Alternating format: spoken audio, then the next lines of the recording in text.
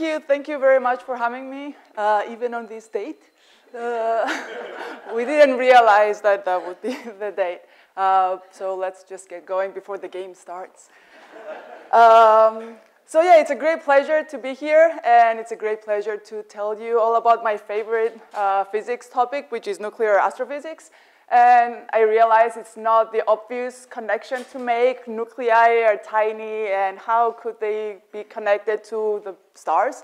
And so hopefully by the end of today, uh, I'll clarify that. I will start with uh, telling you a little bit about the field and why we're excited and what we're trying, what questions we're trying to answer. Um, and then I'll tell you about the tools we use to answer these questions. And these are the cyclotrons we have right now. It's the new accelerator we're building, FRIB. Um, so I'll, I'll tell you all about all of that.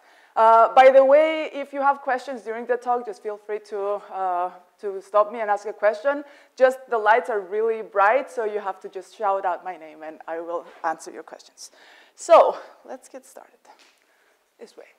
So in general, the field of nuclear astrophysics is trying to answer some very big and important questions, like um, where are all these elements that we see around us, where are they coming from, and where are they formed?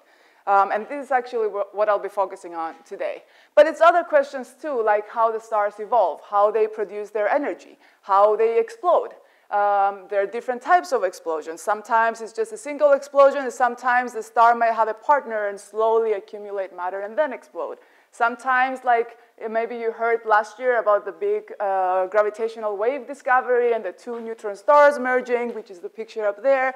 Again, how does that happen and what happens during an event like that? So these are the questions that we're trying to answer. Now, I am a nuclear physicist, so I'm trying to answer these questions by doing research in nuclei.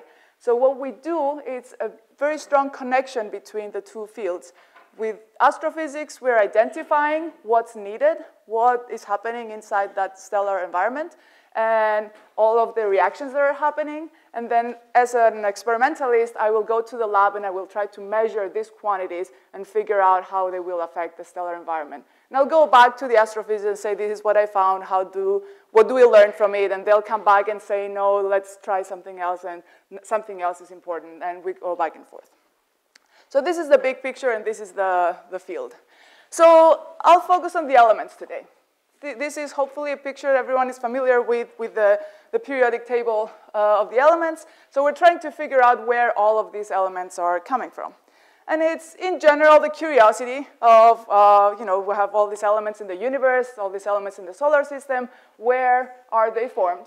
But it's also, on top of this, it's our personal quest for understanding ourselves, right? We're wondering what's inside our bodies. We uh, care a lot about what we eat. And so because all of that goes inside our bodies. Well, our bodies are also made of all of these elements. So it's one of the most fundamental questions we can ask what, where are all the elements in our bodies coming from. So I wanted to make a connection uh, for that. This is a graph that shows the, different, the elements I showed from the previous slide, but how much of each element do we have in the universe? And you'll see at the bottom here at the left hand uh, that we have a lot of hydrogen. The scale here is not linear. It goes with 10, 100, 1,000, so it increases very quickly. Uh, so the majority of the universe is hydrogen and helium, the first two bars. We also have some of the light elements. Down here, I marked carbon, oxygen, and so on. Um, we have some peaks and valleys in this graph, and the reasons for all of the peaks and valleys are coming from nuclear physics properties, and I will highlight that later on. We have a peak around iron. I'll tell you why. All the heavy elements up here um, are a lot less because it's harder to make. And actually, a lot of the focus of today's talk is these heavy elements. So we have all of these elements, and we have a, this particular distribution of elements in the universe. And now, looking in our bodies, what is our body made of? Well, it's, if you start, it has a lot of water, 62% water. It has proteins, it has uh, fat, it has a lot of different things. If we dive a little bit deeper, all of these are actually different elements.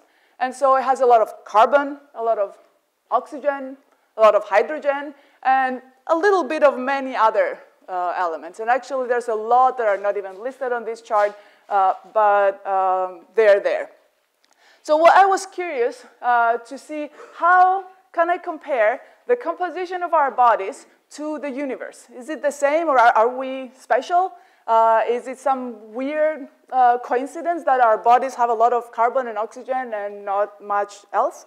And so I just put this distribution of elements in our bodies on top of the, the universe distribution of elements, and they're basically the same. There are small differences. There are some elements we don't need. We don't need helium, for example, so that second bar over there goes away. But the majority of the distribution is the same. So it's not just that some of the elements are, in our bodies are coming from the universe. We are the universe itself, which is just a very, it's an amazing thought if you think about it a little. So this is what we're trying to figure out, or one of the things we're trying to figure out. Where do all of these elements come from? So going back to the, the periodic table of the elements, um, let's start with the lightest elements. So the lightest of the elements, hydrogen, helium, and lithium, they're made during the Big Bang. And that's it. So if we had our periodic table of the elements uh, right after the Big Bang, it would be very easy to memorize, just three elements. Um, but we wouldn't be here to memorize it because we need carbon and oxygen and all the other elements. And everything else, everything else is made in stars. So I'm telling you that everything else is made in stars. You can ask, how do we even know that everything else is made in stars? And I will show you that on this chart of uh, the periodic table of the elements, there's some elements that are this different color, the white color. And some of you might know why. The reason for the different color is that these elements are artificial elements. We cannot find them in nature naturally. So you can go out and find basically all the elements in, uh, on this chart except these heaviest ones and technetium. Technetium is an artificial element. And this is the first indication for how we know that the elements are made inside stars. So it's a story. Let me tell you a little bit of this story. It was in the early 1950s, and at that time, the science scene was that we were trying to figure out how the energy, uh, the energy production in our sun and the other stars. And at that point, people kind of figure out that probably some nuclear reactions are happening and they're producing energy, and probably that's what's producing all of this energy and fueling the stars. But they had no idea how that these processes also made uh, the heavier elements. The assumption at the time was that probably all these elements were made during the Big Bang. And this is where the shock came when Paul Merrill, so in this picture from Mount Wilson Observatory, observed for the first time lines of technetium in one of the stars that he was observing. And he even wrote it in the paper, which we don't usually put these things in papers, but he even wrote in the paper that it was a huge surprise to see an artificial element in the lines. Because, and he gave two interpretations. Either there is actually a stable isotope of technetium that we haven't discovered yet, or somehow the star itself is making technetium, which is also a big shock because we did not expect that either. Just to get an idea, technetium is an artificial element. Uh, its longest lived isotope lives for 4 million years. And so for a star that should be billions of years old, technetium should have decayed very long time ago and it shouldn't be there if it was made during the Big Bang. But it was not. He, Paul Merrill saw these technetium lines and that was immediately the, the first hint or the first proof that this is where technetium had to be made, and this is where the heavy elements had to be made. And very quickly, right after that, the field was born. Uh, by 1957, there, were, there was a comprehensive description of how all the astrophysical processes make all of the elements. And it, it's been changing since then, and we're learning a lot of new things, but that was definitely the start. Okay, so I keep talking about elements. And I want to now make the transition to nuclei because this is, this is an important transition to make. So when we talk about how are the elements produced in stars, um, we, we're missing a little bit of the details because each of the elements has many different versions of itself that we call isotopes. So each of the elements, let's say I have the example up there of molybdenum. Molybdenum has 42 protons. So anything with 42 protons will be molybdenum and will have those chemical properties. But if I add different neutrons to molybdenum, it will look different. So I get these different isotopes. And I highlighted up here the different isotopes of molybdenum. It has uh, all the black ones are the stable isotopes, so it has many stable isotopes, and any other color would be radioactive isotopes or exotic or rare isotopes as we call them. Um, so if I look in the universe for where all of these isotopes are made, uh, they are not made the, at the same place. And so when in the question where the elements are made, I have to dig deeper and see where the isotopes are made. So to display that, we, in nuclear physics, we get that periodic table of the elements and kind of stretch it and flip it. Um, and we get one element, we turn it into a row. So hydrogen is uh, down here. Uh, and you see Z equals 8 means 8 protons, and that's oxygen. And so each row corresponds to a different element, and that's our row for molybdenum. So if I look for where these molybdenum isotopes are made, well, the first ones, 92 and 94, are probably made in some kind of a supernova event. We're still trying to figure out where exactly, but it, it's definitely an explosive event, and it's most probably a supernova event. The middle ones are made in what's called, I'll, I'll get to the processes later, but uh, will, they're made in what's called AGB stars, or asymptotic giant branch stars. These are just regular stars towards the end of their lives. And then the 98 and 100 molybdenum, those are made again in explosive environments and most probably in uh, events like the neutron star merger that I mentioned earlier in the talk. So we have to really dive deep and see where each isotope is made and not just the elements. And as nuclear physicists, we try to put everything on this chart of nuclei, so you'll see it a lot. And the uh, hosts here let me borrow one of their uh, demos, and this is an example of a chart of nuclei that you can see over here. There's the color code, or here the, the um, amplitude. Uh, we can change that depending on how, what we want to display. Up there, it's uh, half-lives or lifetimes, how long they live. Uh, so as you go far away, uh, these, are, these live a lot, a lot shorter, and the middle ones, the black ones, are stable. Um, this chart is, it's called binding energy or mass excess. It's how uh, bound a nucleus is, or how much energy will I get out if I break it. And so you see a structure, these are the lightest elements down here, and it goes all the way up here to the heaviest elements. And you see this structure where the binding is not very high at the middle, and it's very high at the, for the low and the high uh, uh, masses. And this tells you that if I get this nuclei down here and I do different kinds of nuclear reactions, I can get a lot of energy out. And this is exactly what's happening in a stellar environment. In the middle here, I'm starting to have some difficulties that I'll talk about later. And then up here, you start to get these fission uh, processes, and we use fission a lot for a lot of applications today, good and bad. Um, but this is, again, a place where you can get a lot of energy from nuclei. So this chart is our playground. This is exactly what we use all the time. Okay, so I want to go, again, a little bit educational. It's the, the professor in me, but I try to explain how these processes work step by step.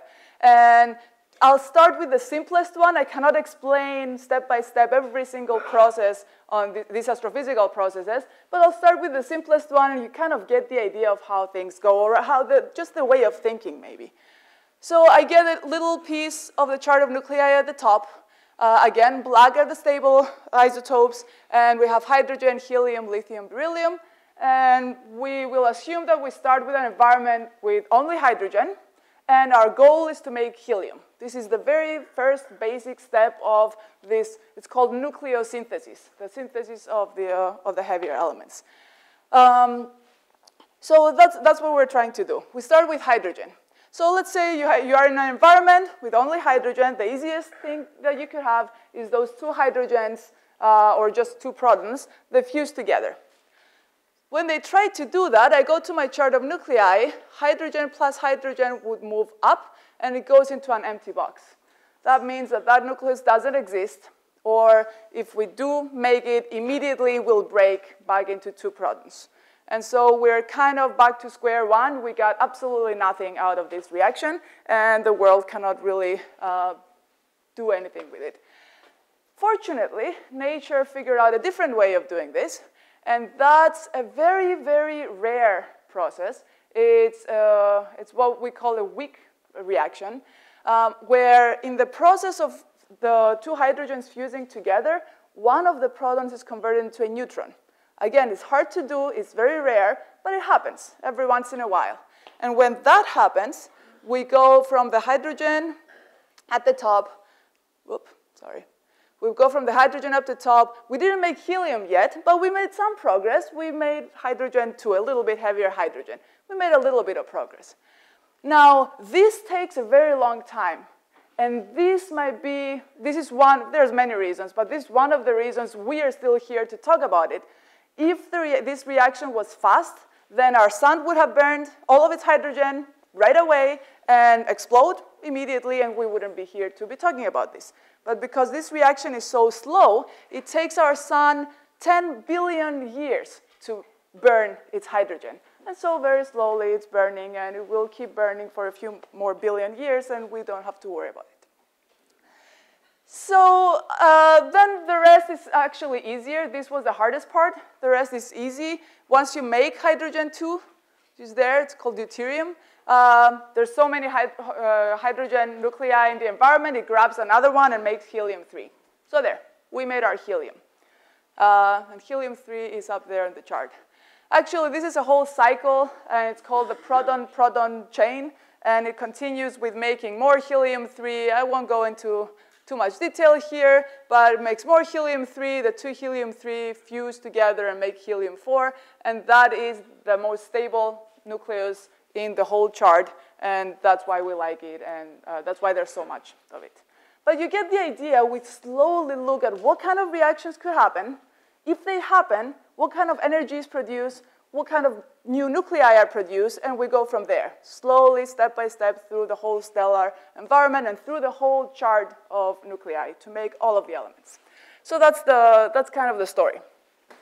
And again, we like to put everything on our chart of nuclei, and this is uh, the larger version where the circles, the yellow circles there indicate different processes that are called burning processes. And I'll go back to this chart uh, that we have here. This is how you get energy from the light elements, and it goes all the way up to iron.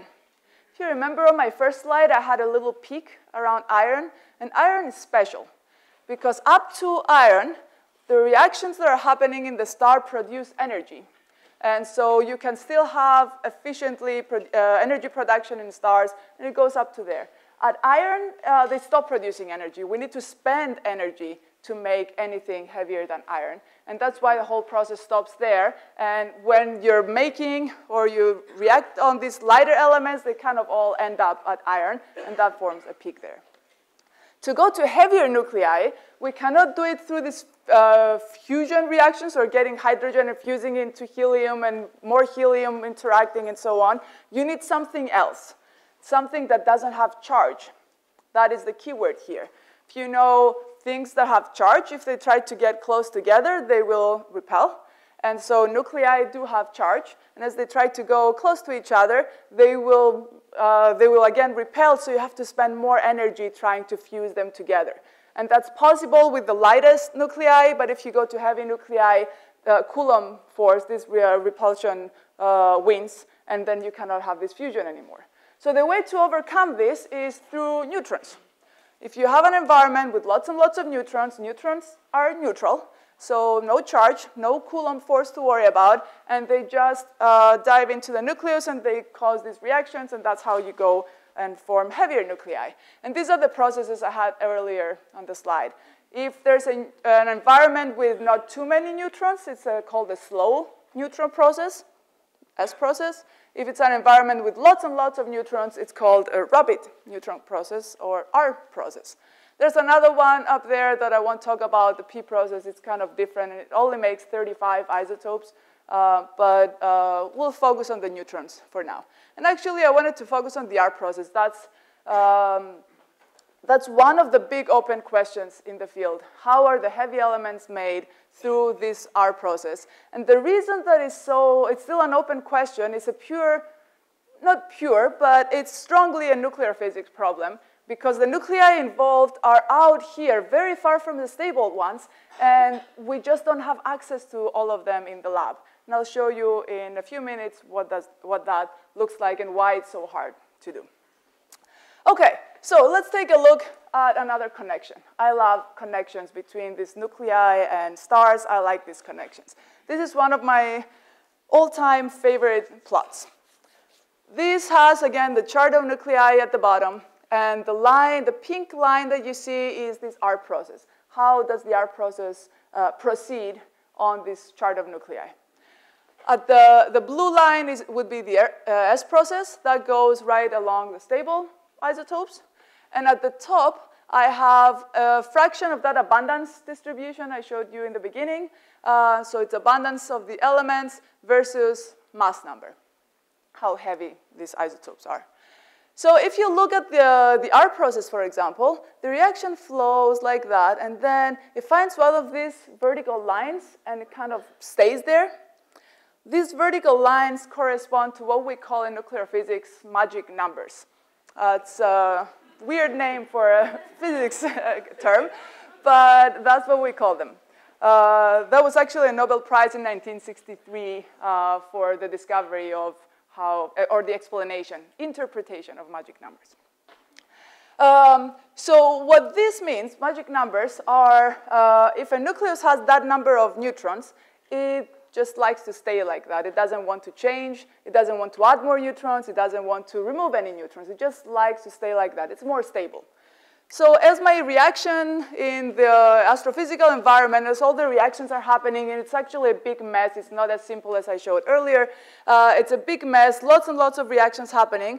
But then you meet one of these magic numbers, and it just likes to stay there. So it stays a little bit longer, until at some point, well, the whole event has to proceed, and at some point it gets out, and then it finds another magic number. And it stays there for a while again, and then it keeps going. Well, this staying there means that there's a lot of mass accumulated in that area. So as soon as the event is done, this accumulated mass will translate into uh, more isotopes of that type of mass. So this uh, neutron magic number right there forms a peak in my abundance distribution. And that exactly is the connection I was talking about that I love. It's a, a basic nuclear physics property. It's a, a nuclei having this magic number, and that translates into a peak in the abundances we see in our stellar observations, either in the solar system or even outside the solar system. And this is a one-to-one -one correlation that is just amazing to think about. Um, if you look at the S process abundances, which is the blue line up there, the same thing happens. It's just that the S process will find the magic number at a, a little bit heavier masses, and so my S process peak in the abundance distribution forms a little bit um, higher. Again, same reasons and same interpretation. So this is what we're trying to do. It's one of the examples why in nuclear physics we're trying to learn about the basic nuclear properties of these nuclei and then see how they affect the stellar environment and going back and forth to learn about that. So let me show you a little movie of how all of that that I've been talking about uh, looks like, uh, just to get an idea. You, don't, you won't get new information, but just observe how matter accumulates right around the magic numbers the color code is how many nuclei you have, so the more red, the more nuclei you have. So yeah, you see how those nuclei just accumulate around the magic numbers, and when the whole event is over and you're slowly decaying back to form the stable isotopes, that forms these red regions, which are the peaks in the abundance distribution we, see, uh, we saw before. Um, so yeah, this is, uh, these are the kind of movies that uh, the astrophysicists will do, and then we'll take them and say, okay, which nucleus should I go uh, and measure? Which nucleus will have an impact? I don't want to spend my career measuring something that is useless. So we definitely have to have this input uh, and the connection with astrophysics. Okay. Maybe needs to stop. Okay, so before diving into a little bit of the experimental uh, ways of doing this, let's just take one second to see what exactly are we trying to uh, measure. What's useful? So what I'm trying to do here is just grab a chart, uh, part of the chart of nuclei, and I zoom in and I say, let's say this is my R process path. It finds the magic number right there, and so that's why it changes. But this is my path. So what, what's happening, if you look at it even closely, even more closely, is that is, this is an environment with lots and lots of neutrons. It's an explosive environment. So the easiest thing for the nucleus to do would be to capture a neutron. And so this is one of the reactions we're trying to measure. It's called the neutron capture, or, or N gamma. So this would mean it captures a neutron and it shoots out uh, gamma rays out, or light out. And it would move that way on, on this chart. Another thing it could do is decay. And this beta decay is just the converting one proton into a neutron, like what we saw earlier with that PP chain, the proton-proton chain. And it will go that way. So you can see the competition between the two is what matters. If I go in the lab and I measure that this guy wins, the N-gamma reaction wins, then I know that's where my flow goes, and I will just try, keep tracking that flow and then find the next competition and the next competition. If my beta decay works, uh, wins, then that's where the flow goes. And again, there's a, there will be other nuclei involved. And so this is the main, the most important uh, quantities to measure. Um, there are more complicated things. After the beta decay could also be a neutron coming out that I need to worry about. Uh, in certain environments, we could have inverse reactions happening. So it gets complicated very quickly, but it gives you an idea of what kind of uh, nuclear properties we're looking for. And then finally, of course, fission is important as this R process moves to very heavy masses like we have in the chart here. Once the R process uh, moves and goes all the way up here, then we have fission. We get a lot of energy from that. And fission just gets this nucleus and, nucleus and breaks it into two pieces and releases a lot of energy and a lot of uh, particles, neutrons and gamma rays and so on. So if you get this nucleus and break it into two pieces, it feeds this middle area and then the process continues and comes back up there, and fissions again, and comes back down here, and this is called the fission cycling, and it just produces more and more nuclei in this middle region. So this is another property we need to know, and we need to measure. So this gives you an idea of what we're looking for. Now, the important thing here is that all of these nuclei that participate in this process are all very far from the stable isotopes. They're exotic. They only live for a second or two. They don't live that long. We have to make them in the lab and be very quick and study them before they decay and become something else. And this is exactly what we're doing at the lab at Michigan State University. It's, as you heard in the beginning, it's a unique facility. There are only, uh, not even a handful, maybe three facilities in the whole, whole world that can do this kind of science, produce these very exotic nuclei all the way out here and study them so we can learn about these events. The goal of the lab is not just nuclear astrophysics. I'm focusing on this today, and that's my research, but we're learning a lot about these nuclei and their properties, and could be, uh, they could be used for other applications. I'm focusing on astrophysics today. So, I'm sorry about the Spartan helmet. I had to do something. Um, you probably don't want to know, but you know where Michigan State is. Uh, it's not very far from here um, but that's where our facility is. It's a large lab. We have over 100, uh, 850 employees right now. About, let's say, 250 or 300 are uh, scientists, nuclear scientists or accelerator scientists. A lot are engineers. Um, and then we have everything that you need to make a lab uh, work, a, a, design group, a machine shop. We make everything that we can in-house. Um, this is our um, science group. We have 45 faculty, and that's, again, nuclear and accelerator science. We're separate from the Department of Physics. Uh, we have uh, about 45 postdoctoral researchers, about 120 graduate students, again, doing research in this, uh, in this area. So in nuclear physics, we're the number one pro graduate program in the country. Um, and a lot of undergraduate students working there, uh, either for summer programs or during the, the school year. Um, you can see it's very hard to get beam time. uh, at the lab. No, I'm just joking. This was just a, uh, this was just an open house. So every every two or three years we do an open house. You're, uh, you should come if you can, uh, or you should come for a tour. We offer tours every day. Um, you should come and see the lab. It's, uh, it's pretty exciting to see. But yeah, when we have an open house, there's a lot of interest from the local community, and we get about 4,000 visitors in a day, which is really exciting for us to share our science. Okay, so the current facility has uh, runs with two cyclotrons, and that's how we produce those rare uh, isotope beams or these exotic beams.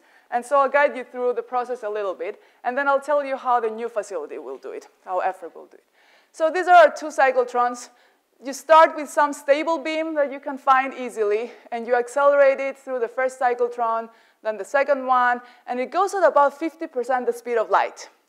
Once it moves that fast, then you get the beam and you shoot it at some target. Typically, it's beryllium. And uh, as the beam hits the target, there might be some reactions happening. The reactions that typically happen are fragmentation. So the beam will just literally just break into pieces, and we collect one of those pieces. And so the end part you saw there was we have big magnets, magnetic and electric fields, and we guide the beam. And we also separate out the ones we don't want from the ones we do want to do our experiments with. Now, to show you a little bit, I'll encourage all of you, if you want to try it after the talk, you should come and try it. But we have here, uh, I have a Home Depot version of our accelerator. um, so, but it's, the, it's very nice to just have a, a visual of how things work. So this is my accelerator. You can give it a little bit of energy if you throw your nucleus at, over here or even more, and I have an extra piece, but I can't reach that high. Um, and I have my nuclei, so this would be my beam. It's a carbon-12 nucleus in this case. We can accelerate anything from hydrogen to uranium. So this is one of them, it's carbon-12. Uh, has six protons and six neutrons. And in there, you see it with the camera, there's another carbon-12. And so what, what would happen is that I will smash one of my carbons onto the other carbon, and hopefully, out of the things that are coming out, something will be one of these exotic things I want to try. If it's one of the stable ones that we know everything about, we'll just try again. And the way this works is that we'll have billions of these carbon nuclei every second smashing on our target. And so you just play with statistics. many of them will be uh, boring, but some of them will be these exciting ones that we, we want, and then we have to separate them out. And I'll show you how we do that too. But for now, let's just see how this works. Here's my carbon.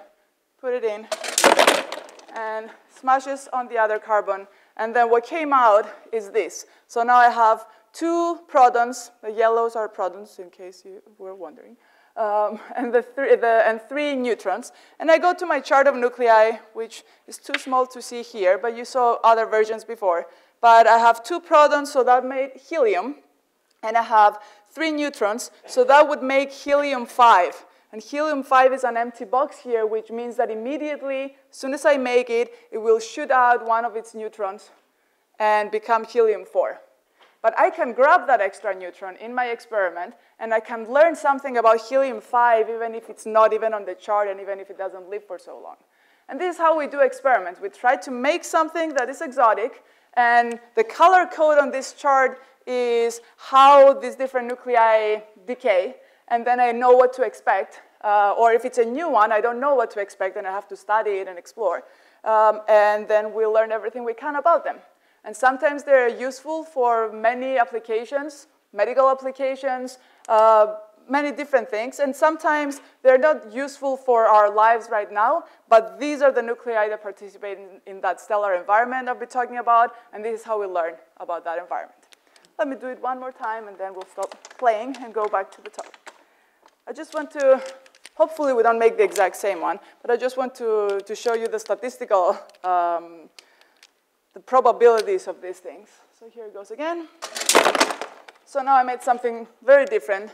Now this one is five protons and one neutron, quite exotic. So five protons is boron, and uh, total particle 6, so it's boron 6. It's not even on the chart. I don't think anyone has discovered it yet.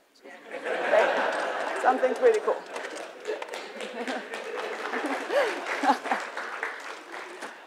so yeah, feel free to come after the talk and, and play with this. This is why we have it. It's one of our favorite demos. Okay, so let me show you a little bit uh, how this, the, the game uh, version, how it looks like in, with real data. Um, so we have our two cyclotrons that you saw on the previous slide, and uh, you see where the production target is, and that's where this reaction is happening, the fragmentation reaction. Um, and so what comes out of that reaction is a big mess. It's, in this particular example, I have a krypton uh, 86 beam. There's up there. Um, and my goal in the experiment would be to make nickel 78. And it shows you where nickel 78 is. But nickel 78 comes with a lot of friends.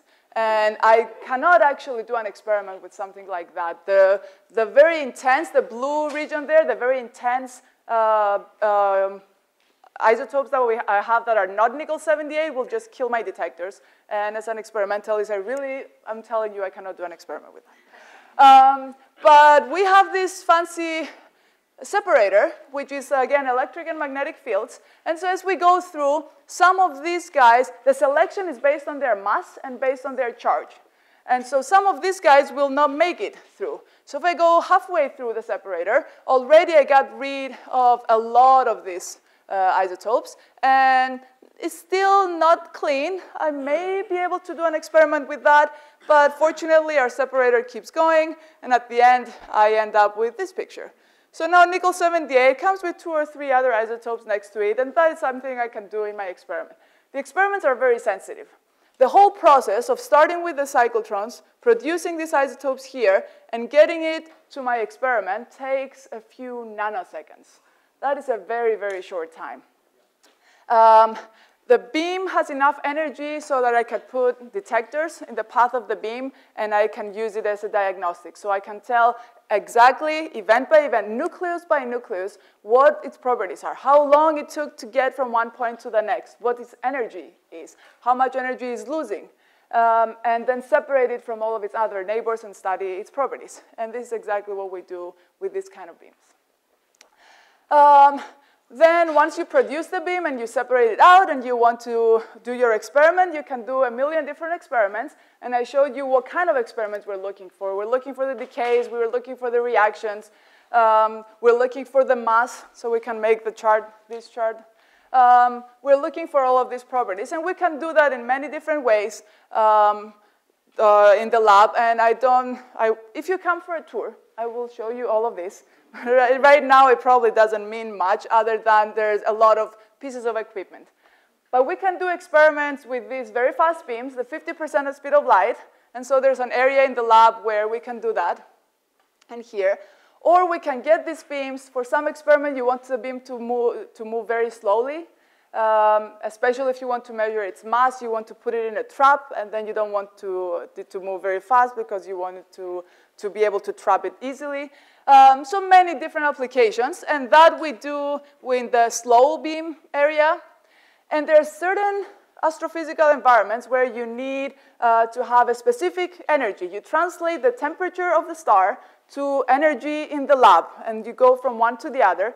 And those energies are not the 50% speed of light I'm talking about, are a little bit lower. And so that's why we have this re-accelerator area where we get beams exactly at astrophysical energies. And that's this, uh, this red region up there. So we do many, many different kinds of experiments. I'm happy to talk about any of them later, but I didn't want to, to go into details about any of them.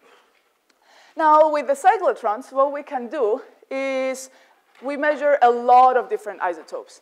And again, a chart of nuclei, shows you where this R process path is. And what we do right now is the blue or darker color region up there. That's where, the, where we can reach with the cyclotrons. The problem is that this R process path is not quite on the blue, or the blue area is not quite on the R process path. It's a little bit further away. And that's a problem because it means we're not studying exactly the nuclei that participate in the R process, we're studying a little bit off. It's still useful, uh, and it's useful for other events as well, don't, don't get me wrong, but it's, we really want to go onto the R process path. And that's why we're building this new facility. FRIB, or the Facility for Rare Isotope Beams. So this is a very large project. It started in 2008, and it's a DOE funded, DOE Office of Science funded, and State of Michigan funded project. Um, and you see the amounts up there. Um, and, the, and, and, as I said, we've been uh, building it for a, a, decade now, and it will be ready. It's almost very close. We'll be ready in a couple of years, and we are very excited. I mean, the community all over the world is really excited because this is going to give us access to nuclei that nowhere else in the world you can have. It's, it's always a competition with new facilities. Uh, with the, the cyclotron facility, we were at the top for a while. Now the Japanese beat us, and we are behind. Um, but with FRIB, we will be at the top. And it will be the most powerful accelerator for rare isotopes in the world and make the strongest beam. And what this means is that it will make isotopes that we cannot make with the cyclotrons, or it will make isotopes that we can make with the cyclotrons. It will just be a lot more, and we can study them a lot better. And these are the two main things we're looking at. So again, to see what FRIB will look like, I have a little movie. It's much easier than uh, pictures. And I will guide you through. So FRIB is uh, built in a tunnel underground. Cyclotrons are on uh, the surface. But FRIB is in a tunnel underground. It's a linear accelerator instead of being uh, cyclotrons uh, or, and going around. And it's in a paper, paper clip um, shape. So this, the, the idea is the same as with the cyclotrons. You get a stable beam. It has lots of electrons. You strip out some of its electrons because then it's easier to accelerate. And so this is the process you see up there, stripping out the electrons. And then you accelerate it. The, it's again going to go about 50% of the speed of light, a little bit faster, and just makes it easier to make all of these isotopes. And you see how it goes, the paperclip shape. It starts in the middle, and it goes around twice. And then it will go and hit a target, like we had with the, with the cyclotrons before. And when it does hit the target, what comes out is not the same every time. You have a whole distribution, and out of, of that whole distribution, you have to choose the one or ones that you want to study. And so this is the, the process of the interaction with the target. You see there are many different things coming. Others are bigger, others are smaller. And when they go through the, the, the, separator, those magnetic and electric fields, the ones that have the wrong mass or the wrong charge, they just get bent too much or too little. And the ones that have exactly the right mass and charge, they will just keep going straight. And this is an example of an experiment uh, where we would just implant them somewhere and look for their decay. This is just one example. And it happens that they chose my detector for that, so I'm, I'm really excited about that. Um, but yeah, this gives you an idea of what FRIB uh, looks like and what more it will do. And I wanted to just go back and highlight that because I didn't highlight it. Um, so what FRIB will do is this darker orange line. So it gives you access to a lot more nuclei that we've never seen before. We have no idea what their properties are. We have no idea even if they exist. Um, and we'll be able to discover new nuclei, we'll study their properties, and most probably we'll find surprises that I cannot tell you right now what they are. It always goes like that with research, but we know there will be surprises. We've, we've had them before. 30 years ago, were, uh, we discovered nuclei down here that have this weird shape that is like a, having a halo instead of just being the compact nucleus that we have, uh, that we imagine at least. All of a sudden, one of its particles would live very far away and kind of just orbit around, and that was a huge surprise. Um, and theory would have to, uh, didn't predict it and we have to explain it later.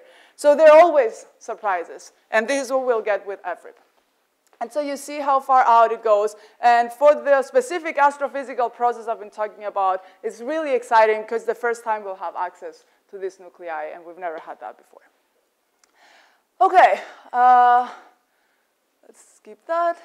And that's basically what I had. If I want to, to summarize, I hope I showed you just a little bit, a little flavor of the field of nuclear astrophysics and what we're trying to achieve and how really exciting it is to try and combine the, the basic knowledge of nuclear science with uh, understanding how stars evolve and how they work and how they make the elements we see around us.